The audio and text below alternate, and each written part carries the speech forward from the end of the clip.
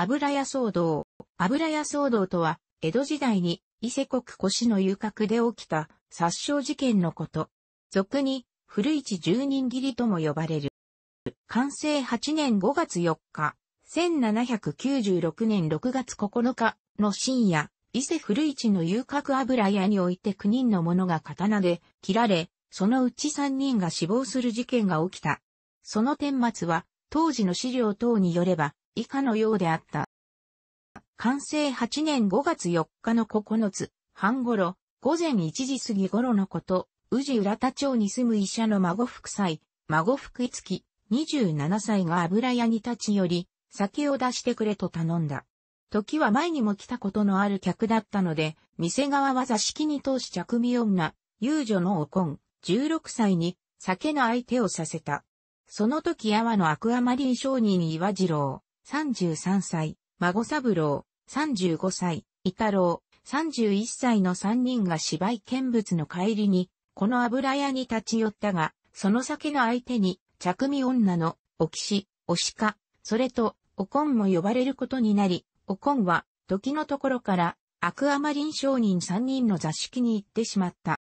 おこんが、他の客の座敷に行ったことについて、時は店側に色々と文句を言ったという。それを、下女のおまん、26歳がなだめ、もう帰るようにと言い聞かせたので、時は、店の表口まで出た。そこで、おまんが預かっていた時の脇差しを返すと、時はいきなりその脇差しを抜いて、おまんに切りつけ、左手の指三本に傷を負わせた。そばにいた下男の浮地、30歳、浮地友が時を止めようとして、右手の親指を切られ、また同じくその場にいた下女をよし、40歳も切りつけられ、左手人差し指と左肩に傷を負った。さらに時は、油屋の奥へ踏み込み、油屋の主人正門の母先、58歳を切り殺した。二階座敷で、おこんたちを相手に酒を飲んでいた、乱玉商人たちもこの騒ぎに気づき、皆で二階から一階へ降りると、真っ先に一階に降りたお騎士が時に切り殺された。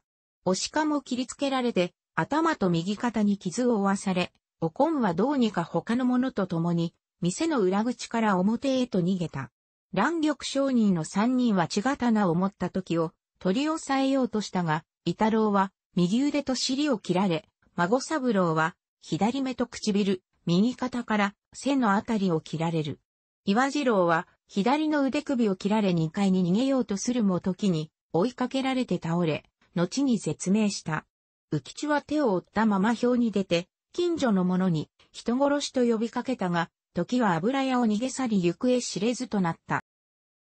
二日後の5月6日夜、宇治浦田町の神主、藤波家の屋敷内で、時が発見される。座敷の板の間に忍び込みそこで腹を切り、刀で喉をついて自害していたという。時が、それまで、どこにいたのかは不明であるが、4日に油屋を訪れた、時と6日に、藤波家で発見された時の服装、持ち物が著しく違っていたことから、誰かにかくまわれていたのではないかと言われている。しかし時はすぐには絶命しなかったらしく、宇治北山墓地にある時の墓には、没年が完成八平新年5月14日と刻まれている。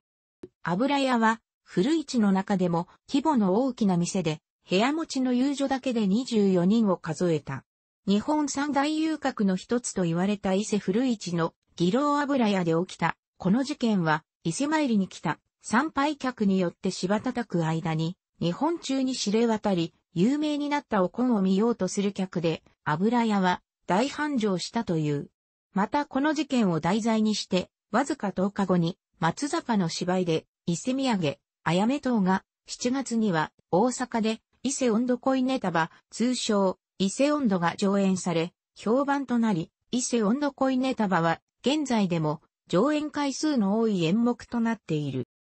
孫福祭は幼名を与吉と言い、鳥羽松尾、現在の鳥羽市松尾町の百姓、与え自衛門の次男として生まれた。その後鳥羽藩に仕える坊の養子となって、時と名乗る。坊の妻は、与え自衛門の妹であった。さらに宇治浦田町のご子孫福旧大部定地の養子と、成定影と名乗ったが、旧太夫は時を医者にさせるため京都に留学させ、時が学業を収めると、浦田町に家を与え、そこで開業させていた。